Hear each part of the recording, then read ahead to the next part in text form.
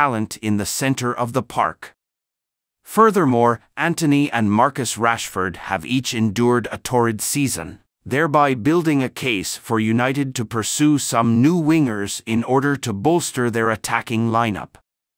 While signing a new winger and a central midfielder could be on the agenda, Olmo proves to be a versatile player who could fill both roles, thereby allowing United to fill these roles with a single transfer. The Spaniard has scored four goals and grabbed five assists. In 19 Bundesliga games this season, along with one Champions League goal in three appearances.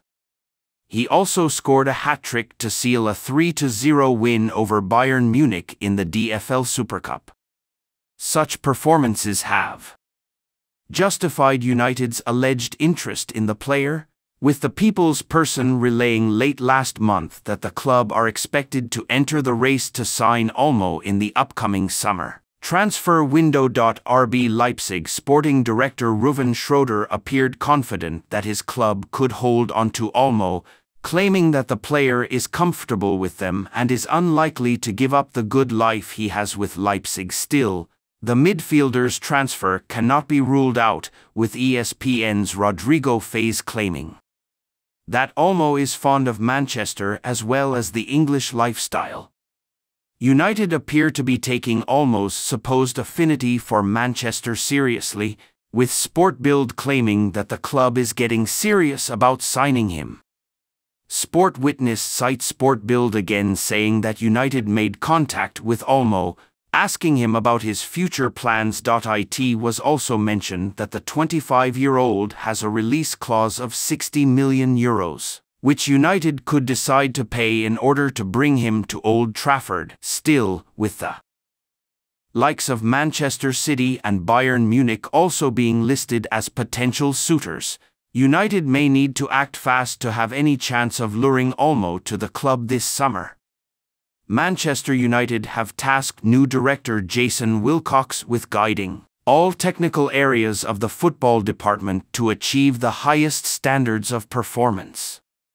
The 53 year old begins his employment at Old Trafford with immediate effect, having caught the eye of Sir Jim Ratcliffe during his work at Southampton.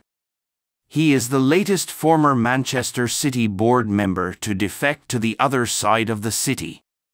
Incoming CEO Omar Berrada is poised to exit the Etihad this summer, having worked with Wilcox during his 11 years with the Blues Academy before his switch to the South Coast. After helping under 18s to a national title and two FA Youth Cup finals, he had been promoted to City Academy Director in 2017. He was snapped up by Southampton in January 2023 with the reputation of building one of the most exciting youth systems in England. When he arrived, former City graduates Gavin Bazunu, Romeo Lavia, Sam Edozie, and Juan Lario had already been at St. Mary's for six months. He ended up bringing more down to the Saints last summer purchasing Shea Charles for around £10 million and acquiring Taylor Harwood Bellis on loan, despite stating upon his arrival, I've not come here trying to bring Manchester City down south. Trying to do that at United may be a shorter journey for players but a near impossible task. However, he may have the edge over former City graduates who have moved on. United are set to search for a centre-back this summer and Fulham defender Tosin Adarabioyo has been linked.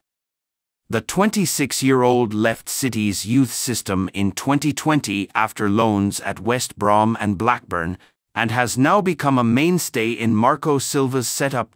He sees his contract expire this summer and Fulham are rumoured to be pulling together a bumper contract in a last-ditch attempt to keep hold of him. Tosin Adarabioyo of Fulham the Fulham defender played 10 FA Youth Cup games under Wilcox, losing in two two-legged finals against Chelsea in 2015 and 2016.